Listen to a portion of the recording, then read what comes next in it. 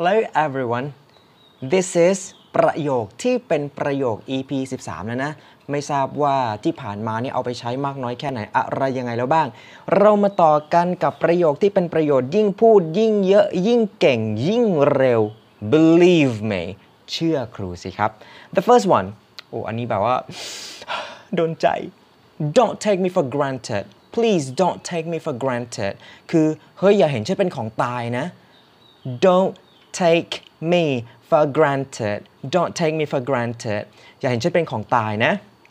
sentence number two I can't hold it anymore I can't hold it anymore นี่แบบทนไม่ไหวแล้วนะ คือทนไม่ไหวเลยนะ หรือจะให้เป็นอารมณ์ที่แข็งกร้าวมากขึ้น ทนไม่ทนไม่ไหวแล้วเว้ยอะไรเงี้ย แบบนี้ก็ได้นะ I can't hold it anymore stop doing that I can't hold it anymore ก็ได้นะ sentence number three จะไปส่งไหมเฮ้ยเจสไปส่งไหม Can I give you a ride Can I give you a ride Can I give you a ride Can I Can I give you a ride a ride ride ก็คือเหมือนกับการอะไรอะการการการขับขี่อะไรเงี้ยมันก็เป็นสำนวนของมันนะฮะ number four I can't get rid of it I can't get rid of it มันจะจะเอามันออกไปจากชีวิตไม่ได้วะเฮ้ยมันทำไม่ได้อะคือแบบมันมัน กำจัดมันไม่ได้ จะเอามันออกไปไม่ได้ get rid of it I can't get rid of it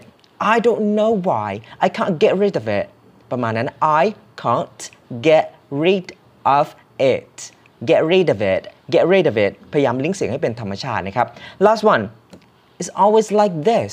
it's always like this เป็นงี้ตลอดเลยอะเป็นแบบนี้ทุกทีเลยอะเป็นแบบนี้เป็นประจำเลยอะ it's always like this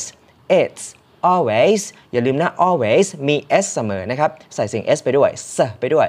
it's always like this it's always like this it's always like this นั่นแหละอีก 5 ประโยคเพิ่มเข้าไปในชีวิตประจำวันใช้มันเยอะๆ แล้วเดี๋ยวจะเก่งขึ้นเอง แค่เเก่งขึ้นเอง แค่พูดบ่อยๆ ให้มันคุ้นปากให้มันเคยชิน แล้วหลังจากนั้นเนี่ย grammar จะตามมาเองโดยอัตโนมัตินะครับ thank you very much for watching do not forget to share to your friends who like to uh, learn English together อย่าลืมใช้กับเพื่อนๆ ที่อยากจะเรียนรู้ภาษาอังกฤษไปด้วยกันด้วยนะครับ bye take care